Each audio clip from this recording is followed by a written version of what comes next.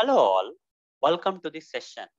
In this session, I am going to answer software testing interview question as 3. That is, why should we perform software testing? Let me answer this question. There are several reasons why software testers have to perform software testing. Let me list down all these reasons one by one for you. Here, the first reason why software testers have to perform software testing is to check whether the developed software, okay, the developers will develop a software. That particular developed software is according to the client requirements or not. Okay, this is the first reason why software testers will perform testing. Check whether the developed software developed by the developers is according to the client requirements or not. The second reason is to detect or identify, okay, to detect or identify defects in the software. Some functionalities of the software may not work. To identify such kind of defects, software testers have to perform testing. So here there is one interesting thing that is why a software tester has to identify defects. Why developers cannot identify the defects. The reason here is the one who creates the software or one who develops the software may be in an assumption that they are not doing the mistake. Okay. So everyone makes mistakes and they cannot find their own mistakes by themselves because they believe that whatever they have written, the code that has been written for developing the code is 100% correct. They will believe. That's the reason, guys. Developers cannot find defects by themselves. There comes software testers who will test the software with an intention of identifying the defects which developers cannot identify. Okay, fine. This is the reason, guys. To identify the defects in the software, software testers will perform software testing. That is the second reason. Third reason is to improve quality of the software. We perform software testing.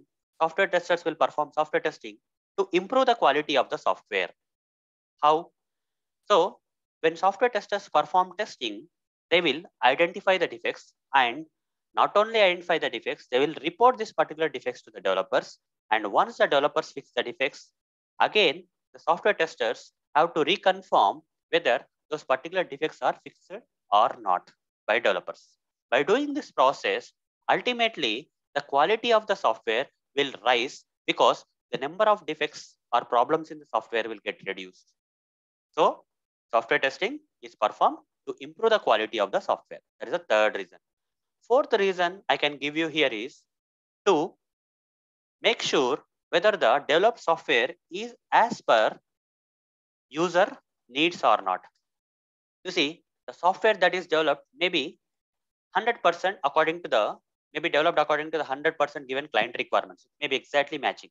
But whether the real users, okay, whether the real users can use the software or not is something very important, guys, okay according to the client requirements is one thing, but whether the developed software is according to the user needs or not, whether it is solving the needs of the user or not, that point of way also the software testing need to be performed. Okay. So this is another reason why software testing need to be performed to see whether the developed software can be used by the real users in real time or not. Okay. Before releasing the software into the market, we have to check this. That's why software testing is performed. Now, another reason. Okay. Another reason why software testing need to be performed. Another reason we have here is ease of use. Okay, ease of use is another reason. So it's not only about the working of the software or uh, whether the software is developed according to the client requirements and as per the user needs and kind of is good. But if the given or developed software is easy for the users to use or not, if it is very difficult, users will not use it, right? If the software is very complex and they cannot use it, they will not use it. The real end users cannot use it. Okay. So we have to check whether the developed software is easy for general use of the users or not. Okay. And not only this much, guys, one more thing is also there. A lot of other things we have to check, guys. Okay. A lot of other things in the software we have to check or test. We have to perform testing on the software to see whether the performance of the software is good or not. Okay you see if the applic if the developed application or software is kind of very slow, the users will not like or use it. Okay, they'll stop using it because the application is slow. They will stop using it. Okay, performance is also important. Like that, not only performance, guys, we have to see the security, whether the developed software is secured or not. Okay, if it's not secured, you see the users will lose all their uh, sensitive information like uh, all the like sensitive information, passwords, and you know, write important uh, uh, identification proofs and all those stuff like credit card numbers, etc., etc. Right? So have to see whether the application is secured or not. So not only this performance security, guys, a lot of things will come into picture.